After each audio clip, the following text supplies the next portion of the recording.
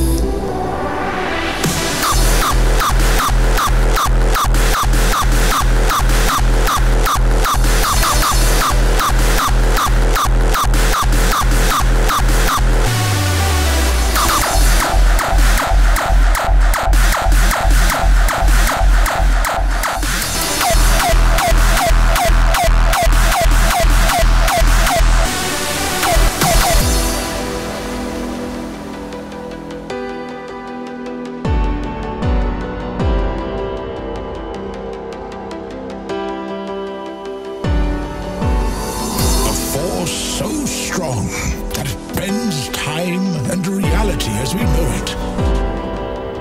A great power of darkness and destruction, floating through space, absorbing everything in its path. This energy is called a black. A black hole.